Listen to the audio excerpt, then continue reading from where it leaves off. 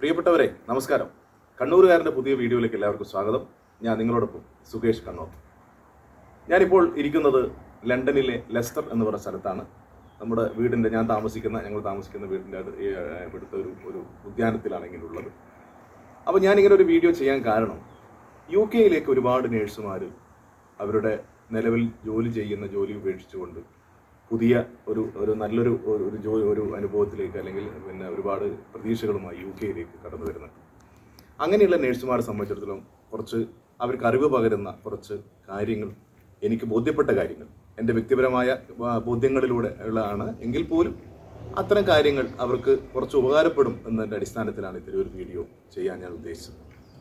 അതിൽ പ്രധാനമായി എനിക്ക് തോന്നിയ ഒരു കാര്യം നേഴ്സുമാരെ സംബന്ധിച്ചിടത്തോളം നാട്ടിൽ ജോലി ചെയ്യുന്ന നേഴ്സുമാർ പ്രത്യേകിച്ച് ഇന്ത്യയിലുടനീളം ജോലി ചെയ്യുന്ന നേഴ്സുമാരെ സംബന്ധിച്ചിടത്തോളം അവരെ മാക്സിമം ഊറ്റി അല്ലെങ്കിൽ അവരുടെ ജോലിയെ മാക്സിമം അവരെ മാക്സിമം യൂട്ടിലൈസ് ചെയ്തിട്ടാണ് പലപ്പോഴും പല ഹോസ്പിറ്റൽ മാനേജ്മെന്റുകളും ചെയ്യാറുള്ളത്. ഡ്യൂട്ടി സംബന്ധിച്ചമായാലും പന്ത്രണ്ട് മണിക്കൂർ ഡ്യൂട്ടി ചെയ്യണം. ഒരു ദിവസമൊക്കെ ഓഫ്. പിന്നെ ശമ്പളം വളരെ കുറവ്. അങ്ങനെയുള്ള ഒരുപാട് മാനസിക പ്രയാസങ്ങളിലൂടെ കടന്നു പോകുന്ന നേഴ്സുമാരെ സംബന്ധിച്ചിടത്തോളം യു കെയിലേക്ക് ഒ ഇ ടി പാസ്സായി ഇങ്ങോട്ട് വരാ വരിക എന്ന് പറയുന്നത് അവരുടെ പ്രൊഫഷണൽ രംഗത്ത് അവർക്ക് ഏറെ ഉയരാനും മാത്രമല്ല നഴ്സിംഗ് ജോലിയെ ഏറ്റവും കൂടുതൽ ബഹുമാനിക്കും അവർക്ക് അർഹമായ പരിഗണന കിട്ടുകയും എല്ലാ അർത്ഥത്തിലും സാമ്പത്തികമായിട്ടൊക്കെ പരിഗണന കിട്ടുന്ന ഒരു സ്ഥലമാണ് യു കെ. അപ്പം അങ്ങനെ നാട്ടിൽ ജോലി ചെയ്യുന്ന നേഴ്സുമാരെ സംബന്ധിച്ചിടത്തോളം ഏറെ ഗുണം ചെയ്യുമെന്നാണ് ഒരു ഒരു ഒരു സത്യസന്ധമായ ഒരു ഒരു അറിവ് നിങ്ങൾക്ക് പകരാൻ ഞാൻ ഉദ്ദേശിക്കുന്നത്. കാരണം ഇവിടെ സംബന്ധിച്ചിടത്തോളം നിങ്ങൾ ഹോസ്കി മനസ്സിൽ നിങ്ങൾ യു ഒ ഇ ടി പാസ്സായിട്ടാണ് പിന്നെ എൻ എച്ച് എസിന്റെ അണ്ടറിലൂടെ മാത്രമേ വരാൻ പാടുള്ളൂ. മറ്റ് ഏജൻസികൾക്കും കൂടുതലായി സാമ്പത്തികമായി പല കൂടുതൽ കടം വാങ്ങി മറ്റു പണം നൽകി വരുന്നത് നിങ്ങൾക്ക് ഗുണം ചെയ്യുമെന്ന് ഞാൻ എനിക്ക് ഞാൻ കരുതുന്നില്ല. അതുകൊണ്ട് തന്നെ പരമാവധി നിങ്ങൾ ഒ ഇ ടി പാസ്സായി എൻ എച്ച് എസിന്റെ അണ്ടറിലൂടെ അണ്ടറിലുള്ള ഹോസ്പിറ്റലുകളിലേക്ക് വരിക. അങ്ങനെ അങ്ങനെ ആകുമ്പോൾ നിങ്ങൾക്ക് ഗുണമെന്ന് വെച്ചാൽ ആദ്യത്തെ രണ്ട് മാസം നിങ്ങൾക്ക് ഫ്രീ ആയി പല കാര്യങ്ങളും ഹോസ്റ്റൽ സൗകര്യങ്ങളൊക്കെ ഉണ്ട്. ഈ ഒ ഇ ടി എക്സാം പാസ്സായ ശേഷം നിങ്ങൾ എൻ എച്ച് എസിന്റെ അണ്ടർ അണ്ടറിലൂടെ വരുമ്പോഴുള്ള ഗുണം വെച്ചാൽ നിങ്ങൾക്ക് ഈ ഒ ഇ ടി എക്സാമിന്റെ പണം തിരിച്ചു കിട്ടും സി ബി ടി എക്സാമിന്റെ പണം തിരിച്ചു കിട്ടും ഫ്ലൈറ്റ് ടിക്കറ്റ് ഫ്രീ ആണ്. അങ്ങനെ നിരവധിയായ ആനുകൂല്യങ്ങൾ നിങ്ങൾക്ക് കിട്ടും. അതുകൊണ്ട് തന്നെ പരമാവധി നിങ്ങൾ ഒ ഇ ടി എക്സാം പാസ്സായി എൻ എച്ച് എസിന്റെ അണ്ടറിലൂടെ വരിക. അപ്പോൾ അത് നിങ്ങൾക്ക് ഏറെ സാമ്പത്തികമായിട്ടും മറ്റു രീതിയിലൊക്കെ ഗുണം ചെയ്യുന്ന ഒരു കാര്യമാണ്. പിന്നെ ഒരു പ്രധാനപ്പെട്ട ഒരു കാര്യം എന്ന് പറയുന്നത് നിങ്ങളുടെ കല്യാണം കഴിഞ്ഞവരെ സംബന്ധിച്ചിടത്തോളം അവരുടെ ഭർത്താക്കന്മാരെ കൊണ്ടുവരിക എന്ന് പറയുന്ന ഒരു പ്രോസസ്സ് കുടുംബത്തെ കൊണ്ടുവരിക എന്നൊരു പ്രശ്നം. അതിന്റെ പ്രധാനപ്പെട്ട കാര്യം എന്ന് പറയുന്നത് പലപ്പോഴും നിങ്ങളുടെ ഭർത്താക്കന്മാർ നല്ല പ്രൊഫഷണൽസ് ആയിരിക്കും. നല്ല ജോലി ചെയ്യുന്നവരായിരിക്കും. മറ്റ് ചിലപ്പോൾ ഗൾഫിലോ അല്ലെങ്കിൽ മറ്റു മറ്റു സ്ഥലങ്ങളിലേക്ക് നല്ല ജോലി ചെയ്ത് നല്ല സാലറി നല്ല അടിസ്ഥാന സൗകര്യങ്ങളൊക്കെ ലഭിച്ചുകൊണ്ടിരിക്കുന്ന ആളുകളായിരിക്കും. അവരെ നമ്മൾ ഇങ്ങോട്ട് കൊണ്ടുവരുമ്പോഴുള്ള ഒരു ഒരു പ്രശ്നം എന്ന് വെച്ചാൽ സ്റ്റാർട്ടിങ്ങിൽ ചിലപ്പോൾ ഈ പറയുന്ന അവർ നിലവിൽ ചെയ്യുന്ന ജോലിയും അതുമായി ബന്ധപ്പെട്ട ജോലിയോ കിട്ടണം എന്നില്ല. സ്റ്റാർട്ടിങ്ങിൽ അന്നേരം സ്വാഭാവികമായും കുടുംബത്തിലെ ഒരു ഒരു അസ്വാരസ്യങ്ങളും ഫ്രസ്ട്രേഷൻസ് ഒക്കെ ഉണ്ടാവും. ഇതൊക്കെ മുൻകൂട്ടി നമ്മൾ കാണണം. ഇതൊക്കെ മുൻകൂട്ടി ബോധ്യപ്പെടുത്തിയിട്ട് വേണം നമ്മുടെ ഈ ഭർത്താക്കന്മാരെ ഇങ്ങോട്ട് കൊണ്ടുവരാൻ. അപ്പോൾ അതും നമ്മൾ ഇങ്ങോട്ട് യു കെയിലേക്ക് വരുമ്പോൾ നമ്മൾ മുൻകൂട്ടി കാണേണ്ട പ്രധാനപ്പെട്ട ഒരു കാര്യമാണ്. അപ്പോൾ ഒ ടി ഒക്കെ പാസ്സായി നിങ്ങൾ എൻ എച്ച് എസിന്റെ അണ്ടറിലുള്ള ഈ റിക്രൂട്ട്മെന്റ് സെന്ററുകളുമായി ബന്ധപ്പെട്ട് അതുവഴി വരുമ്പോഴുള്ള ഗുണം എന്താ വെച്ചാൽ ആദ്യത്തെ രണ്ട് മാസം നിങ്ങൾക്ക് ഫ്രീ ആയിട്ട് ഹോസ്റ്റൽ സൗകര്യമുണ്ട്. ഓസ്കി എന്ന പരീക്ഷയുണ്ട്. ആ പരീക്ഷ പാസ്സാവതോടുകൂടി നിങ്ങൾക്ക് പിൻ നമ്പർ കിട്ടും. ആ ആദ്യത്തെ രണ്ട് മാസം പിന്നെ ഫ്രീ സർവീസാണ് പലപ്പോഴും പിന്നെ ഹോസ്റ്റലുകളും എല്ലാം കാര്യങ്ങളുമെല്ലാം അത് കഴിഞ്ഞ് നിങ്ങൾക്ക് ഈ പിൻ നമ്പർ കിട്ടുന്നതോടുകൂടി നിങ്ങൾക്ക് സാലറിയിൽ വ്യത്യാസം വരും. ഹോസ്റ്റലിലാണെങ്കിൽ നിങ്ങൾക്ക് പുറമേ താമസിക്കുന്ന അത്ര പിന്നെ സാമ്പത്തികമായിട്ട് നിങ്ങൾക്ക് വീടുകൾക്ക് ഇത്ര റെന്റൊന്നും കൊടുക്കേണ്ട ആവശ്യമില്ല.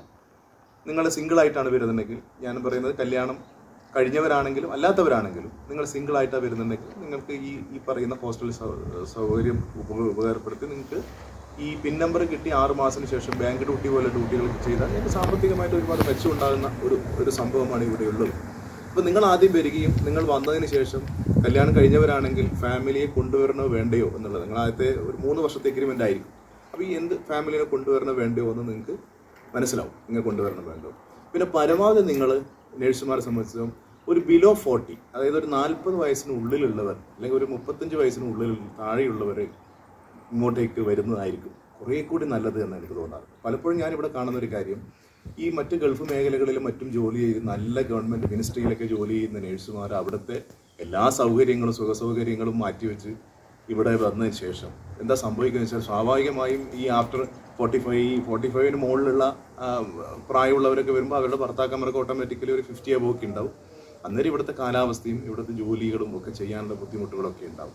പലപ്പോഴും പലരും വരുന്നത് മക്കളുടെ എഡ്യൂക്കേഷനൊക്കെ ചിന്തിച്ചിട്ടാണ്. പക്ഷെ അങ്ങനെയുള്ള തീരുമാനങ്ങൾ എടുക്കുമ്പോൾ നമ്മൾ കുറച്ച് കൂടുതൽ ചിന്തിക്കണം. എപ്പോഴും കുറച്ച് നേരത്തെ ഒരു ബിലോ തേർട്ടി ഒക്കെ ഇങ്ങോട്ടേക്ക് കയറി വരുന്നതായിരിക്കും പൊതുവേ നല്ലത് നേഴ്സുമാരെ സംബന്ധിച്ചിടത്തോളം. അപ്പോൾ അതുകൊണ്ട് ഇന്ത്യയിൽ ജോലി ചെയ്യുന്ന ഇപ്പോൾ നമ്മൾ മനസ്സിലാക്കുന്നിടത്തോളം ഇന്ത്യയിൽ ജോലി ചെയ്യുന്ന നേഴ്സുമാരെ സംബന്ധിച്ചിടത്തോളം പ്രൊഫഷണലി ആയാലും അവരുടെ വ്യക്തി ജീവിതത്തിലായാലും ഒരുപാട് നേട്ടങ്ങൾ യു കെയിലേക്ക് വന്നാൽ കിട്ടാനുണ്ട്. അതിനപ്പുറത്തേക്ക് വേറൊരു കാര്യം നിങ്ങളോട് പറയാനുള്ള ഉദ്ദേശിക്കുന്നത് എന്താ വെച്ചാൽ നമ്മുടെ ഈ ഗൾഫ് മേഖലകളിൽ ജോലി ചെയ്യുന്ന ഒരുപാട് നേഴ്സുമാരുണ്ട്. മിനിസ്ട്രിയിലും പ്രൈവറ്റിലൊക്കെ അവർക്ക് അത്യാവശ്യം നല്ല ജോലിയും സാമ്പത്തിക അവസ്ഥകളും ഒക്കെയുള്ള ഒരു ഒരു അവസ്ഥയുള്ള കുട്ടികളെ പഠിപ്പിക്കാനും അത്യാവശ്യം സാമ്പത്തികമായി മെച്ചമൊക്കെ ഉള്ള ഒരു ആളുകളെ സംബന്ധിച്ചിടത്തോളം നിങ്ങൾ ഒരുപാട് ചിന്തിച്ചിട്ട് വേണം യു കെയിലേക്ക് വരാൻ. കാരണം യു കെ എന്ന് പറയുന്നത് ഗൾഫിലൊക്കെ ജീവിച്ച നമ്മളെപ്പോലുള്ള ആൾ ഗൾഫിലൊക്കെ ജീവിച്ചവരെ സംബന്ധിച്ചിടത്തോളം യു കെ എന്ന് പറയുന്നത് കുറേ കൂടി ഒരു എന്റയർലി ഡിഫറെന്റ് ആയിട്ടുള്ള രാജ്യമാണ് പല കാര്യങ്ങളിൽ. പ്രത്യേകിച്ച് നമുക്ക് നിത്യോപയോഗ സാധനങ്ങളൊക്കെ കിട്ടാത്ത കുറേ സ്ഥലങ്ങൾ സ്ഥലങ്ങൾ പോലും ഇവിടെയുണ്ട് അപ്പോൾ അതുകൊണ്ട് തന്നെ ഗൾഫിലൊക്കെ ജീവിച്ച് നല്ല രീതിയിൽ ജീവിച്ചവരെ സംബന്ധിച്ചിടത്തോളം യു കെയിലേക്ക് കയറി വരുമ്പോൾ ഒരുപാട് ചിന്തിച്ചിട്ട് വേണം കയറി വരാൻ. മറ്റു പലരും ചിലവരൊക്കെ ചെയ്യുന്നത് കുട്ടികളുടെ വിദ്യാഭ്യാസത്തിന്റെ ഭാഗമായിട്ട് കയറി വരുന്നത് കുട്ടികളുടെ വിദ്യാഭ്യാസത്തിന്റെ ഭാഗമായിട്ട് കയറി വന്നാൽ എന്താണ് ദോഷം? ഒരു പ്രശ്നം എന്ന് വെച്ചാൽ നമ്മളൊരു ഒരു ആവറേജ് ഒരു അറുപത് വയസ്സിന് മുകളിൽ അല്ലെങ്കിൽ അതിന് മുകളിൽ വരെ നമ്മളിവിടെ ജീവിക്കേണ്ട ഒരു സാഹചര്യം വരും. അപ്പോൾ അത്തരം സൗകര്യങ്ങളുള്ള അല്ലെങ്കിൽ ഇന്നത്തെ രീതിയിൽ ഗൾഫ് മേഖലകളിലൊക്കെ നന്നായി ജോലി ചെയ്ത് നല്ല ശമ്പളം വാങ്ങുന്നവർ യു കെയിലേക്ക് വരുന്നത് ഒന്ന് ചിന്തിച്ചിട്ട് വേണം വരാനാണ് വ്യക്തിപരമായി എന്റെ അഭിപ്രായം. നിങ്ങൾക്ക് ഇതിലൊരു പ്രധാനപ്പെട്ട എല്ലാത്തിനും ഗുണവും ദോഷങ്ങളും ഉണ്ടല്ലോ പൊതുവേ. അപ്പോൾ ഗുണങ്ങളും ദോഷങ്ങളും പറയണല്ലോ. നമ്മളിവിടെ ജീവിക്കുമ്പോൾ ഒരു ഗുണം എന്താന്ന് പറഞ്ഞാൽ ഇപ്പോൾ ഒരു ഒരു ഒരാൾ ജോലി ഇപ്പം നേഴ്സുമാരെ സംബന്ധിച്ചിടത്തോളം ഒരു മാസത്തിൽ ഒരു പന്ത്രണ്ട് പതിമൂന്ന് ഡ്യൂട്ടികളൊക്കെ ഉണ്ടാവും. അത് പന്ത്രണ്ട് മണിക്കൂർ ഡ്യൂട്ടിയാണ്.